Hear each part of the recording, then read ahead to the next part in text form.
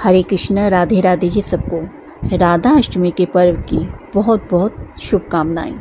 आज राधा रानी का जन्मदिन है और राधा रानी की जन्मदिन के अवसर पर आप पूजा में किन चीज़ों का भोग लगाएँ ताकि आप पर राधा रानी की सदैव कृपा बनी रहे।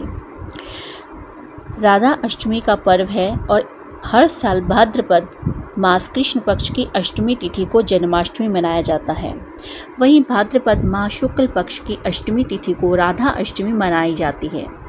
यह जन्माष्टमी के ठीक पंद्रह दिन बाद आता है। इस दिन लोग राधा रानी की पूजा अर्चना कर उनका जन्मोत्सव मनाते हैं।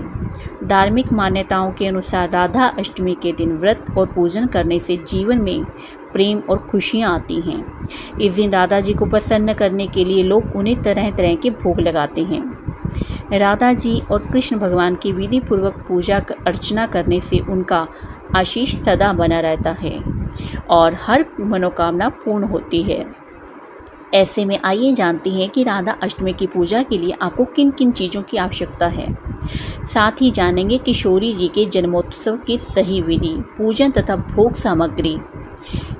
राधा अष्टमी कब है? पंचांग के अनुसार 10 सितंबर 2024 को रात ग्यारह बजकर ग्यारह मिनट पर भाद्रपद माह के शुक्ल पक्ष की अष्टमी तिथि का आरंभ हो जाएगा और यह 11 सितंबर रात ग्यारह बजकर छियालीस मिनट पर रहेगी। इसलिए उदय तिथि को माने तो 11 सितंबर को राधा अष्टमी मनाई जाएगी। राधा अष्टमी पूजन सामग्री क्या है? धार्मिक मान्यताओं के अनुसार राधा अष्टमी के दिन राधा रानी की पूजा आराधना करने से धन, सुख, समृद्धि और ऐश्वर्य की प्राप्ति होती है। इस खास मौके पर किशोरी जी की विधि पूर्वक पूजा करने के लिए आपको कुछ पूजन सामग्री की ज़रूरत होती है।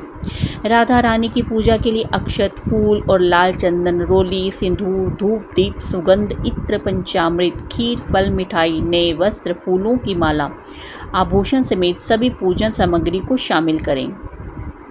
राधाष्टमी पर लगाएँ इन पाँच तरह के भोग। राधाष्टमी के दिन राधा रानी को अरबी की सब्ज़ी का भोग लगाया जाता है और यह शुभ माना जाता है। राधा जी को पंचामृत का भोग भी ज़रूर लगाना चाहिए। पंचामृत, कृष्ण कन्हैया और राधा रानी दोनों को बहुत प्रिय है।